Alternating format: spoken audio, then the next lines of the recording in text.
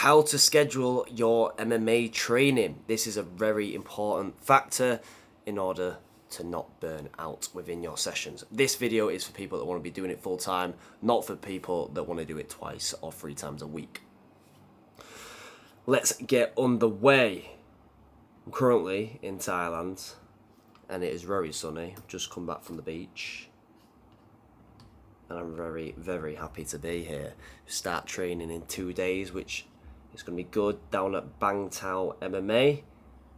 And I've used this same sort of structure to help with my schedule whilst I am here. So, first off, wrestling and sparring, they're the two most important factors or disciplines of your timetable. That means everything else goes around them. It doesn't mean do S&C instead of your sparring or do S&C instead of your wrestling. It means those two sessions are non-negotiables. And I mean have to be done. Have to be done. If you want to get better as a fighter, these have to be done. Next point. You're going to do two to three red days max. This is going to make more sense in a moment but no more than that. If you're doing more than three red days, you're going to burn out completely and you're not going to be able to keep this up for the long run. Now, timetables will differ depending if you're in camp or not in camp. We're just going to go through a generalized one. In camp, the red days are going to be harder red days. In out of camp, we might just do one session of a red day in that particular day. Now, First off, sparring. What day are we going to put sparring? I'm going to use an example. We're going to go in the morning. I'm going to put it Tuesday.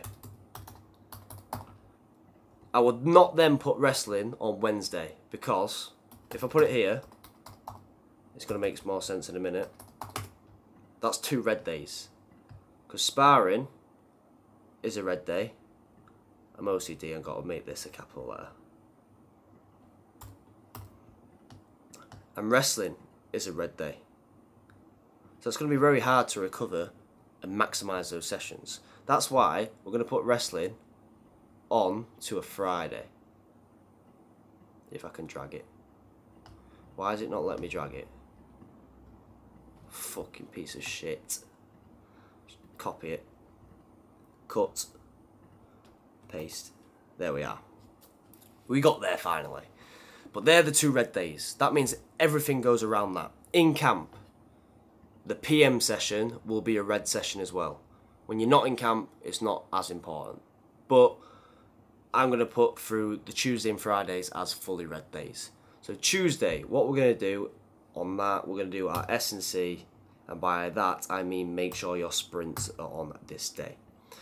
On the Friday, we're going to do intense pads. So they're going to be fight style pads or up downs as you like to call it. Depends what you want to do. But if, if you fight three five minute rounds, you're going to do three times five minutes. Sparring. It's going to be normal sparring. You're going to do fight specific rounds. If you're doing three rounds, I recommend doing three. If you do five minute rounds, make sure the time's on five minutes and you're not doing three two minute rounds. So do three five minute rounds if you are fighting three five minute rounds. Your S&C you're going to do your weights bit and then you're to put your conditioning on the end. On the Friday, you're to do your normal wrestling session and then the PM session is 15 minutes only. If you're an amateur, it's to be 9 minutes only. You are not doing longer than that. I want it high intense, maximum with your heart rate, but we're not to be there very long. Three five minutes if you're a professional. If you're doing five fives, you're going to do five fives on that day. So these are red sessions as well. When you're not in camp, you might avoid these, the S&C and the pads. You might do S&C without the sprints and you might do technical pads. But we're going to do it as if you got a fight. They're my red days. I've got to structure everything around that. After a red day, you can guess, you're going to be tired. I'm going to be tired. Everyone is tired. Because of that, we're going to put the next day as green. So Wednesday is going to be green. Saturday is going to be green. And then if those ones are green, it means the other ones are going to be orange. We're going to take Sunday as our day of rest for this. I don't always rest Sunday. I might switch it and put Saturday as my rest day and do another red session on Sunday because that's my free max Some weeks I might do two, some weeks I might do three. I will never spar twice heavy in the week though, for me personally. do not want to be doing that. So that is an orange day. And that is an orange day. Now, we need to fit the rest of our sessions within this. On a red day, do not do three sessions. Don't do it. Other days you can do. But just because you're doing three sessions, it doesn't mean kill yourself off. One session could be a yoga. It doesn't have to be hard. Let's start from the beginning. An amber day. I don't like grappling the day before sparring because it knackers my muscles out. So I'm going to put that as striking. All these are going to be MMA based. So MMA striking. Yes, I might put takedowns in as well, but it's not going to be the main focus of that session. Wednesday, I'm going to do MMA groundwork, so jiu-jitsu.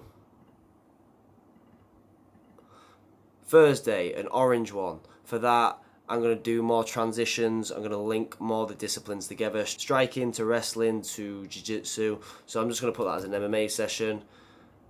And then on Saturday, it can depend on what you did within the week. If there's certain things you got to work on, let's put that as an MMA one as well. You can even make that an MMA flow, but that one I look at more what's gone well in the week, what do I need to work on? That's what I'm going to do on the Saturday. To be honest, I don't really train twice on a Saturday, so I'll get rid of that. We'll put it like that. Now the PM sessions, more technical. But I'm sparring in the morning, so I don't want to go too hard on this Monday. So if I'm totally honest, I stay away from heavy rounds. Don't try and do heavy rounds the night before you're going to spar. So some sort of technical aspects. It's an orange day, but it doesn't mean the afternoon session have to has to be as hard. Technical, you could do striking,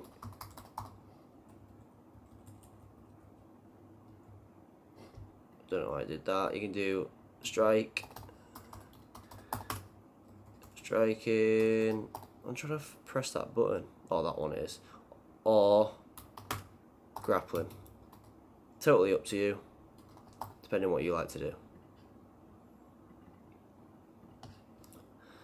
Now, you can do the same on Thursday as well because wrestling is a heavy day. So whatever you did on Monday, do the opposite on the Thursday.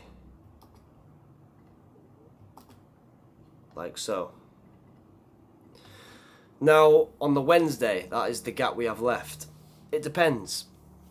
What do you need to work on? Is it certain get ups? Is it certain defences? Is it certain attacks? All I'm going to put in here is drill. But I'm going to put techers. I'm not here to drill hard because that drilling hard could be in an orange or a red day. So I'm going to be there to drill technique. Now, where do you fit your conditioning into this? I would not do extra conditioning or sessions within my red days. The only thing I'd do extra on a red day is stretch. So I'm going to put here no. No extras. Only stretch. Because they're hard for a reason, so we don't want to take away effort from the sparring. If you know you got three sessions on a red day, you're probably not going to go as hard in sparring. So that is the same for the Friday session. Now, you can put your running on any other sessions. I, personally, sometimes put the strength side of my S&C on the Saturday. And I do that as a double session. So I don't do it in the PM because I want a free space. I don't need to do sprints. I did sprints on the Tuesday and I've done fight specific training similar how I'll be doing the sprints but with pads or up downs long steady jog if you want to do one I recommend most likely doing it on uh, Wednesday. Long steady one, and I mean steady. And you got two others. If you want to fill them, you can. It is totally up to you. But that is how I will schedule a timetable. First off, you find your red days. Second off, you put your green and your orange days in. You then fill the blanks. You've got your sparring day filled in. You got your wrestling day filled filled in. Fill the rest of the blanks. Yours will might look slightly different to this. You might like doing more MMA here and striking towards the back back end of the week. Totally up to you. This is just an example of how you can particularly do it. Mine differs. Sometimes I don't train Saturday and I'll train Sunday, but I'll wrestle again on Sunday. So that's quite hard. Sometimes I'll have a Wednesday or Thursday afternoon off, depending on how my body's feeling. So all of this is listening to your body. Not being a pussy just because you're a little bit tired. It's listening to how your body actually is.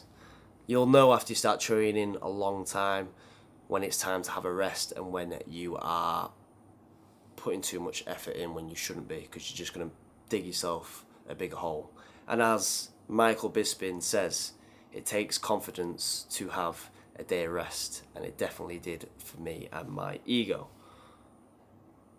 But that is how I structure my timetables, main points, wrestling, sparring, two most important days, two or three red days max, nothing else. And then from there, you can put your other training in. I hope this one was helpful. If it was, please give this a like and a subscribe.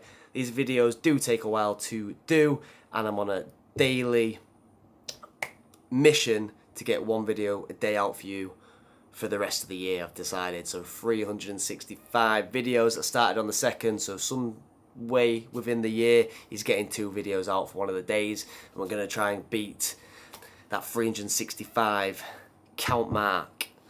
And I think that'll be a good ball game to show how much I have put into this any videos as well give me a message with a request and I'll happily do them and it'll give me some ideas as well.